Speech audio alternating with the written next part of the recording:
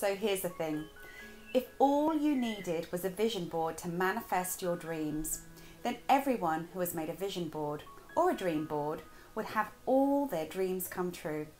And we all know that's simply not the case. And I don't understand why you'd think that. The Secret did a fantastic job of convincing us that just cutting out a picture of your dream home and sticking it on a piece of card is all that it takes. And hey presto, dream home. Even Oprah has told you to make a vision board.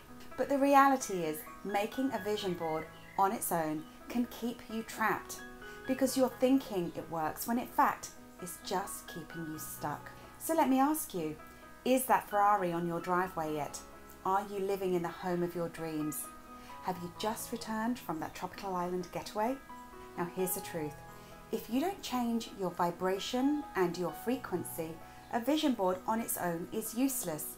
You can cut and stick pretty pictures to your heart's content, but you will become even more frustrated, lose faith, and your dreams will fade away.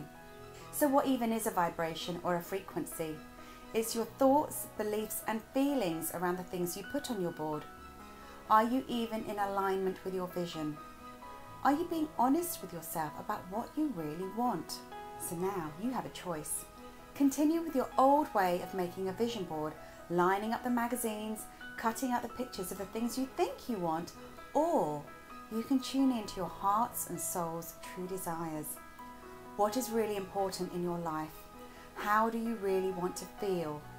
What is your soul craving right now? This is what should be on your vision board, and the rest will follow.